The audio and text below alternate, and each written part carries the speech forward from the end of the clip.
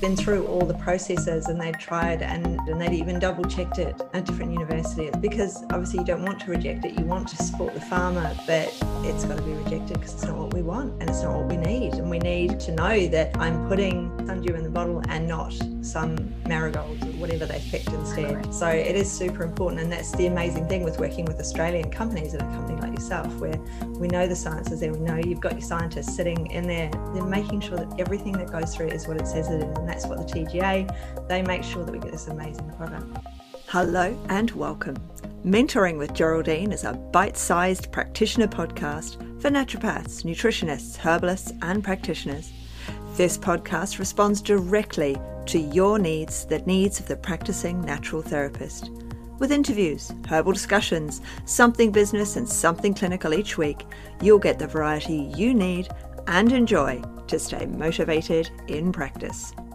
Hello, and welcome again to Mentoring with Geraldine. And I'm very lucky to have Christine Thomas from the Herbal Extract Company in Sydney with us again today. And um, what's happened is sundew. Sundew, which as a herbalist I grew up with and is one of my favorites, and I would put that in most tonics. And then I've noticed recently I haven't been able to get it. And I've just thought, yeah, la, la, la, I haven't been able to get it, whatever. It'll come back. These things, you know, come back. But what has happened, Christine? Tell the story. Yes, we it seems to be the lung herbs we lose too. I find Mm. really Yeah. was you know World Comfrey was a really good one, and Yeah. Hydra, and Yeah. they tend to be the ones that you know have a bit of controversy surrounding them, but not Sundew. Sundew actually. So I was just talking with Annette, um, our general manager, Mhm. does a lot of the ordering. Yeah. And so there's a few things. Sundew was coming from Madagascar, Oh, wow. Africa. Okay. And it's just i think she tried a couple of years ago and the price was really prohibitive Yeah. she thought i'll try and find another solution Mm. and then just couldn't get it Oh, right. sometimes it has to do with it not being wildcrafted or picked Yeah. you know trouble with that and just on that conversation now with covid we're actually probably going to see this happen a lot more Yeah. because we're so, Buchu comes from South Africa and we're having a lot of problem getting things from Africa. Oh, of course. Yeah. The transportation and this No. illness over there. Yeah. with people not harvesting Yeah. um, because of COVID and lockdown. And um, the Yeah. other problem is with customs. Apparently, Annette was saying, I've got to try and remember, but say Brisbane has a one week turnover with customs. We've got two weeks in Sydney. Melbourne's a month. Right. bringing Wow. in anything is just going to take a lot longer. Yeah. That's a And then if we longer. have a problem in the lab, if it's identity or quality problem, then Yeah. that's back to the drawing board. So yeah, I think unfortunately we might see this happening a little bit more. But yeah, with sundew, there was just there was a few little issues and we just haven't been able to get it. Right.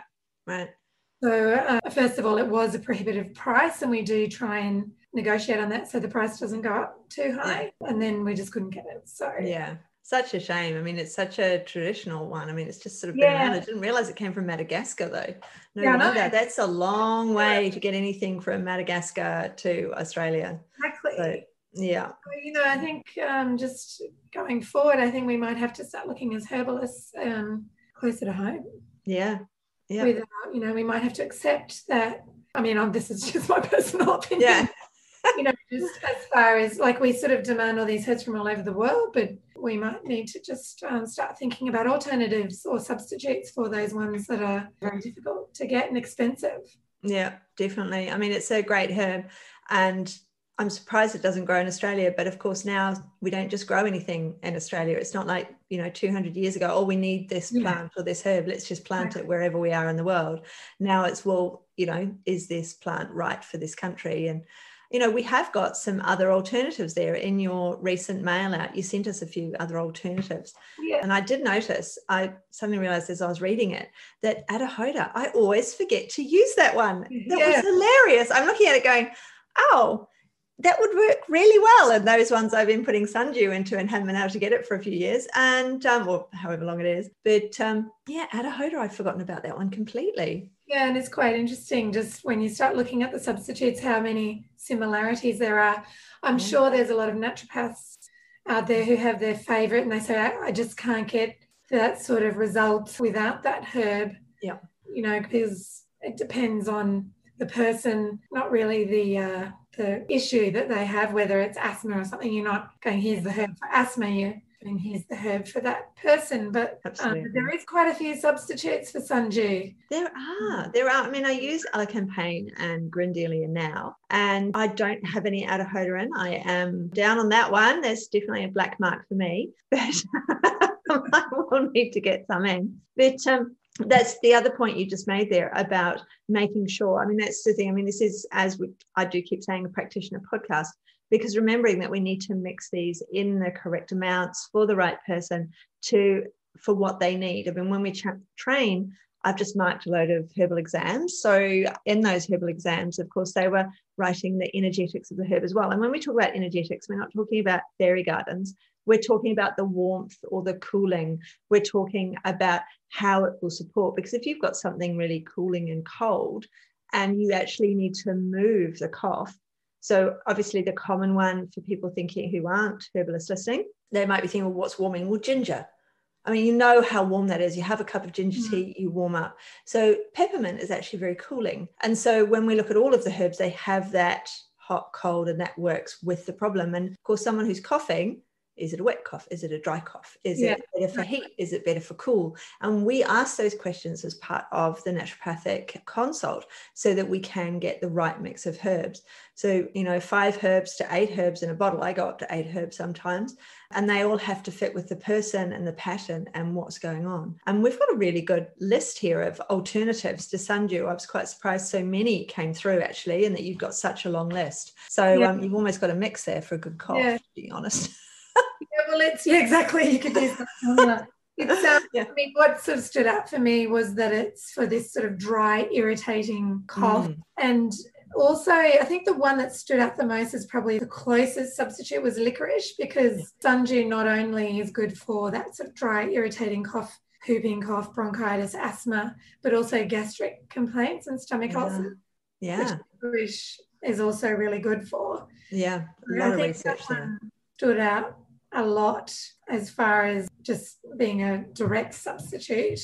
Yep. But then some people, etc., licorice is a bit tricky. Yep, contraindications there across the board with all sorts of problems. So we do have to be careful with giving that one. Yeah. Yeah. So then there's the other ones. You said Adhatoda has that great antispasmodic action mm. that it's famous mm. for. It's been used for centuries in the Ayurvedic tradition. Yeah. But also, interestingly, there's some preclinical evidence, so we can't extrapolate that to humans. Right. Yeah. Uh, being no studies in humans, that may not have that action in humans, but preclinically, it has been shown to have anti-ulcer activity and improve symptoms of dyspepsia. So again, it could be worth trying for those people who have a cough and also have gastric issues. Yeah. I mean, when you're coughing so much as well, there can be a lot of pain in the stomach. Um, just simply from the coughing, and people often eat differently when they're coughing because of the breathing issues. So often with the dyspepsia, it's a really good idea to get a bitter in there as well to help with that digestion and help them feel soothed through the gut and through the lungs and through everything that's happening while they're doing that cough. So yeah, so that I mean that I'd hope it'd be a good one, wouldn't it? Yeah, the, that's, um, that's, very old school. Actually, Lindsay Shum, who owns our company, he's a very old school type of practitioner. And he, the first question he always asks is, you know, how are your poos? you know, like he always treats the gut. That's sort of that old naturopathic, yeah. you know, doesn't it? You treat the gut and yeah, you're going to help the body and the immune system's, you know, based basically based in the gut, most of the immune system. So treating the gut, you're treating the whole person. So yeah. it does make sense that a lot of these herbs treat the gut as well. Yeah. A lot of them have an effect where you're treating the gut, you're soothing the gut, and it has a knock on effect into other parts of the body. And it's, you know, when I trained the mantra, um, there's actually a song, it's not really a song because it's it's a it was a chant and it was death pestilence war death pestilence war and so I managed to remember when I was writing an exam, gut, liver, immune, gut, liver, immune. And that was the way to work on the person work on the gut, work on the gut, then you work on the liver, then you work on the immune. And they knock through. Yeah. So, you know, it was, oh, yeah, I couldn't have. I used that song for a number of things as well to remember certain things for certain exams. like having music helps you remember things. yeah. so We've got elecampane in your list as well. So I use quite a lot of that for those irritating coughs because it helps relax that bronchi. So that's a really nice one and a very traditional herb as well. That's been around since. And really good for children as well. Mm. So gentle. So that's a good one. I mean, sundew is good for children as well. So that's again, if it's for children, if you were using sundew in a child's mix, elecampane's a good substitute there. Yeah. And I just remembered uh, back to the, where we get them from. Mm. Just pause there, but um, the reason why we do get them from all these faraway countries is because we usually get them from their country of origin or where they're made, yeah. because they're a lot stronger when they grow in their natural environment than when they're harvested. I mean, when they're cultivated in a, a sort of false environment, I should say, yeah. like not native to. So that's why we do try and source from the native environment. Yeah. Otherwise, we would get them all from Australia if we could. Yeah, very good point, isn't it? I mean, Madagascar is a very traditional island. It's got some things on there that don't grow anywhere else in the world. It has, yeah. you know, everything about it is unique. So to get the sundew from its home country would make it that much more amazing as a herb that we'd use because it would have all of the components because that's where it's traditionally grown. Exactly. So, yeah. All the stronger constituents than a say cultivated yeah. plant. Again, yeah, we have to weigh up a lot of other issues associated. Mm. I think we spoke recently in another podcast I wrote about it recently was botanical adulteration Yes. That's another issue that comes up when we have these problems. And that's why we're really focusing on it a lot at the moment, just really making sure we've got the identity right. Because when you have a problem with these play issues, mm. it can mm. cause adulteration to start happening yep. because people still want it. Yeah. So other people start, you know, taking advantage of that and adulterating, saying, "Oh yes, we've got some sundew for you." Yeah. Sundew. Yeah. Um, so yeah, it's a good thing to be aware of. Yeah. Back um in the podcast, there's on the YouTube channel there and in the Facebook group, there's that original recording that I made where we went around and there was the rejected herb, whichever one it was all that time ago.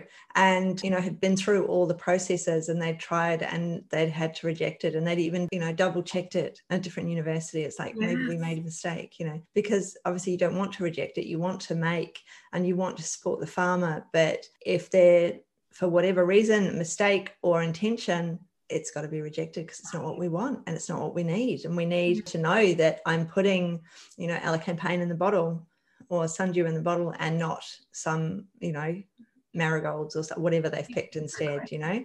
So it is super important. And that's the amazing thing with working with Australian companies and a company like yourself, where we know the science is there. We know you've got your scientists sitting in their little cubby holes behind their glass windows and they're testing everything and they're yeah. doing that they're making sure that everything that goes through is what it says it is and that's what the tga they make sure they double check you and it's you know all of these processes are in place to make sure that we get this amazing product.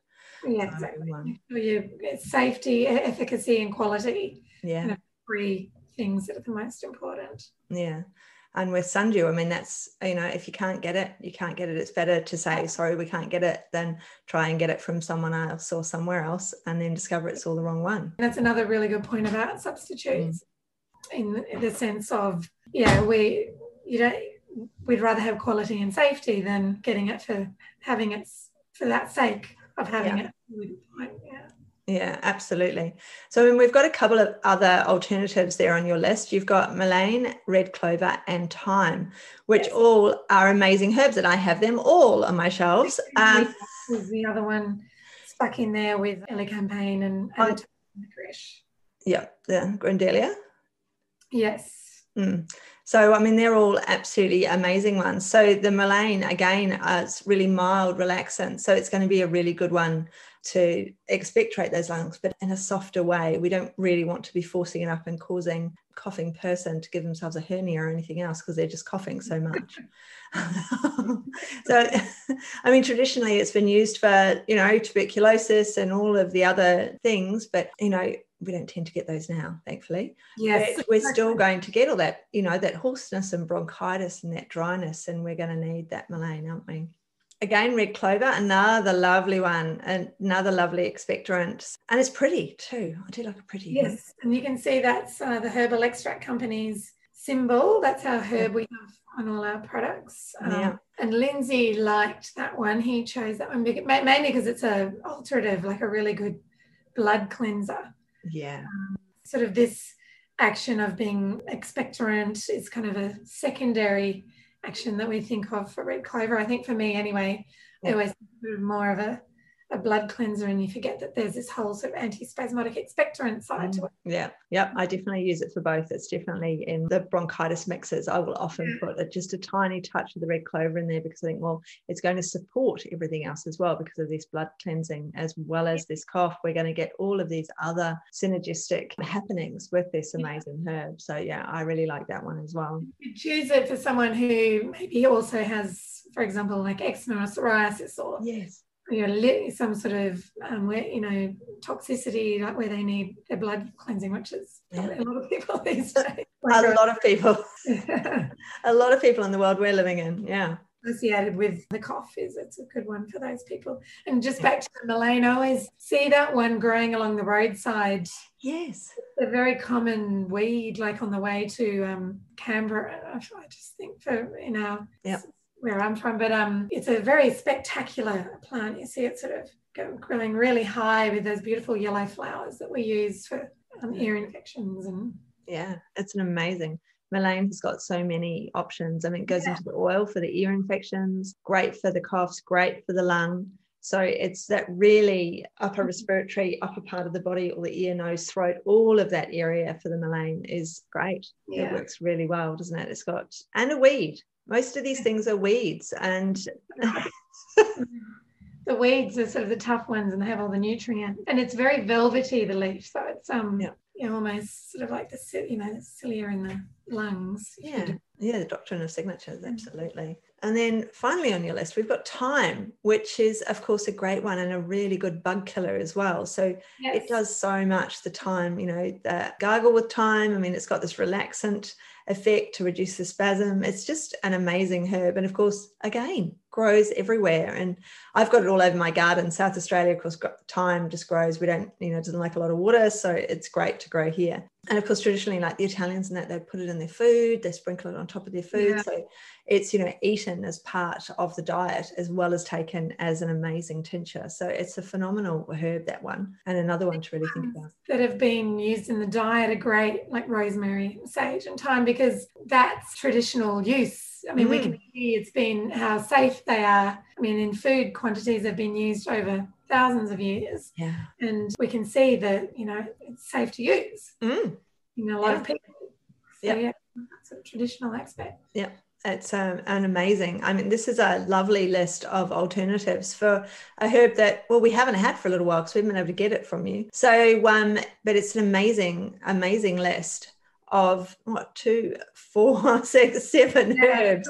All the substitutes, you know, when I do substitute stories, this one definitely had a lot. Yeah, and they all have a really good story behind all of them and their uses and the other aspects. So when you're looking at that person and they've got everything else going on with them, they've got, you know, there's never just one thing. No one ever just has a cough you know, yeah. there's always, oh, yes, my nose is running on, oh, my nose is dry, my ears are blocked. No, they're not. You know, I've got a head cold no i haven't. So there's all the other things and so having all the different options when because we do we mix these together to make that perfect tincture exactly as our client needs it. So um, it's really good to have all of these different options. To look at and go yeah that's not going to suit this person whereas that one is. I'll yeah. go and look it up and get some extra info and see if that's the perfect one for them. So one oh that's great. It's a really good list. So yeah, so don't worry about not having sundew because there's good substitutes there. There are definitely substitutes. Well, thank you very much, Christine. It's been wonderful to chat with you again, and thank you, Herbal Extract Company. And I might put it out there that if you're listening and you wanted to give a five star review on iTunes, if you would please, that'd be great. We'd love you forever. So, um, for now, we will say goodbye. See ya. Bye, Thanks so much for joining me today. Don't forget to rate, review, and subscribe to the podcast for the weekly episodes. If you'd like even more support and learning, then the Academy is for you. Here you'll find part two of the herbal discussions, more clinical learning, and case studies to support your clients in practice. Bye for now.